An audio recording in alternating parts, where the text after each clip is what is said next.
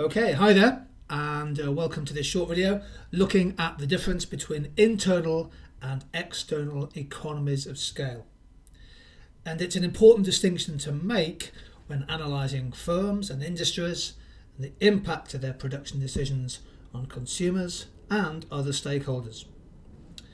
So, what are internal economies of scale? Well, internal economies of scale are defined as the unit cost advantages, the fall in average cost per unit that comes from a business expanding the scale of their production in the long run. And this represents an improvement in their productive efficiency and can often give a, a business a sizable cost and competitive advantage against rival firms. Uh, you can draw an analysis diagram, for example, to show how economies of scale can lead to a fall in prices for consumers and also an increase in profits. As long as the average cost of production is falling in the long run, then internal economies of scale are being achieved. Now, a key example is that economies of scale apply to a single firm as it grows. We're focusing on a particular business as they, if you like, they ramp up the scale of production. For the exam, you'll need to have good examples of possible internal economies of scale. Some of them relate to production. For example, containerization is a great example. Uh, the idea that you can fill a ubiquitous container which has a standard width and height and length. If you can fill it, you can bring down, reduce the unit cost of transportation. Businesses might grow and deploy specialist managers or be able to buy their raw materials, for example, in bulk.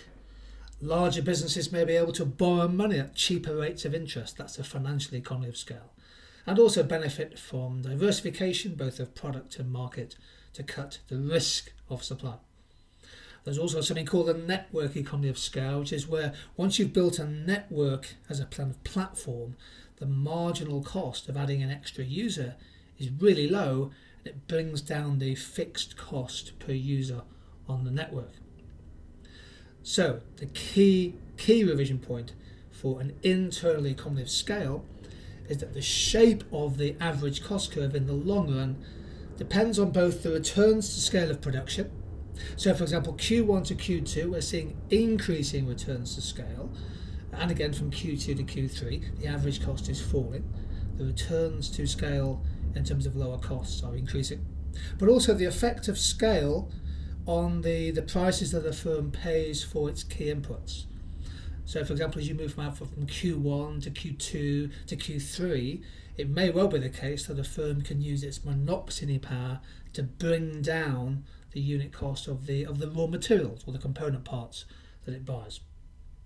Q3 will be something close to the minimum efficient scale. Of course, there is always the potential if the firm goes beyond its optimum size for diseconomies of scale to kick in.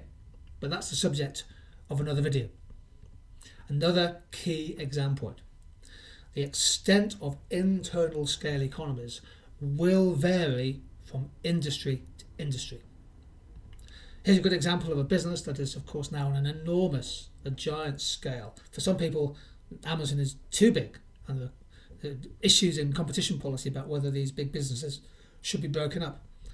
But have a look on the left hand side the number of people employed by Amazon from 17,000 in 2007 to over 600,000 in 2018. This is global employment in Amazon.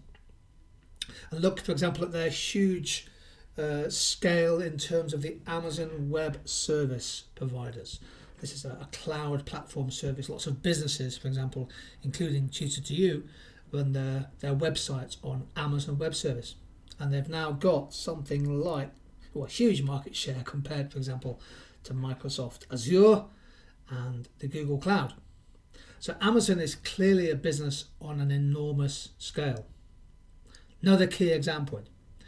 In an industry where the minimum efficient scale, in other words, the lowest point on the average cost curve, where that is high relative to market demand, then an industry will tend to be highly concentrated. So if there are big, significant, enormous economies of scale internally, typically the industry tends to morph towards being highly concentrated. let's go back to our example of Amazon. Here's, here's some data showing the smart speaker market share in the UK in 2018. Google, of course, making a big play for the smart speaker market share, but of course, Amazon currently has a big, a big advantage. Alexa, tell me the, the size of Amazon's market share 75% market share in the first quarter of 2018. So that's internal economies of scale.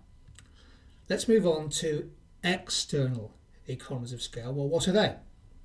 Well, these are the reductions in average costs for businesses who benefit from an expansion of the industry of which they are a member. Key point here is that external economies of scale occur outside of a firm but within an industry, within a sector. Classic example uh, an industry, all the firms in the industry might benefit from improvements in transportation networks, investment in new road and light rail, for example. Another good example could be that uh, within a, a town or a city, a local university increases their investment in research and development facilities, and those are made available in partnership with local businesses. And a very good example of external economies of scale are so called agglomeration economies that come from the clustering of similar businesses in a, in a tight geographical location. Software businesses in Silicon Valley is a common example. An exam point for you. All firms potentially can benefit from external economies of scale, pretty much independent of their size. And uh, let's just focus for a little bit on agglomeration economies, the cost savings, the higher efficiency, productivity, that can flow from the clustering of factor inputs. So, for example, software engineers in a particular area sharing information, sharing information, innovating. So, the Mercedes F1 factory in Brackley is a really good example. There's a cluster of Formula One teams in and around Northamptonshire. Most of the F1 teams, actually, I think, are based in the UK, along with their research and development operations. And there's a whole network of industries, component suppliers, engineering design firms, etc., that have relocated to serve the Formula One teams um, in the UK. So F1, great example of externally economies of scale. Silicon Valley, two lovely pictures here. There's Cupertino in uh, California, United States, so that's the new Apple head office, or is it the new You research, research and development building? I'll find out later and the lovely view of Silicon Valley from Mission Hill.